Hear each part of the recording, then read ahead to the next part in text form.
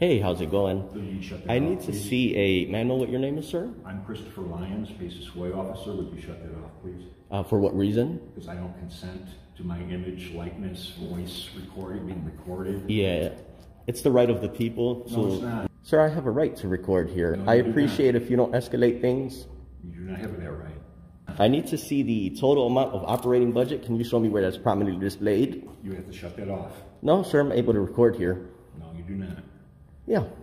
Accountability and transparency. If you're not going to shut that off in response to my request, my, my polite and respectful request, I have nothing, I have nothing else to say to you.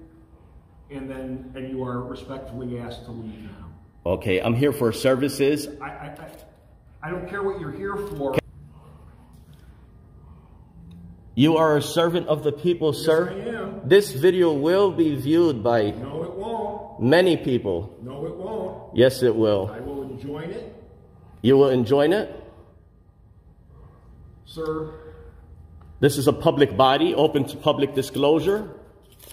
I will have you arrested for creating disorderly conduct if you choose to create a fictitious police report. I am here for business. Police report, you are trespassing. You have been asked to leave. I am not trespassing. I'm here for business. You refuse to leave. Thank you. All you had to do was pull it. I was pulling, I was working. How's it going? Good, what's up? Good. Got it for you. I need you to arrest this man.